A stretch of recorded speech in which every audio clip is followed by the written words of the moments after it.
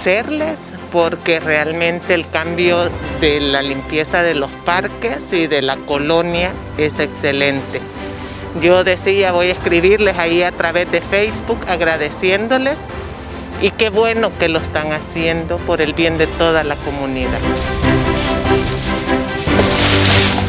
Para mí está muy bien, el parque está más limpio, los árboles también con las ramas más cortas y pues para mí que es una buena gestión lo que están haciendo.